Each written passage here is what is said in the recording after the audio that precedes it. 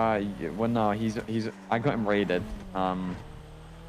Yeah, I got him raided, so I, I'm uh, you know I'm visiting him.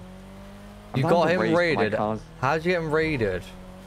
So he he had a shotgun, got chased for it, put it away, pulled up to the funeral, and it like funeral gear and a mask. And I was like, Shankz, why you got a mask on, bro? Like we're at a funeral. And then the Fed like started radioing because like I bailed out it was Shankz, and then um Shankz pulled out a shank and stabbed the Fed as he does. Um, Uh huh. Uh huh. Yeah, it's mag dumped, and then he got raided because he didn't have the shotgun one on him. I've had a collision. Um.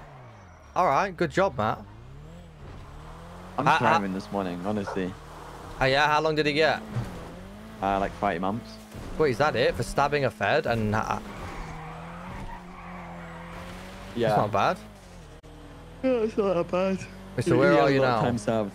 I'm at prison.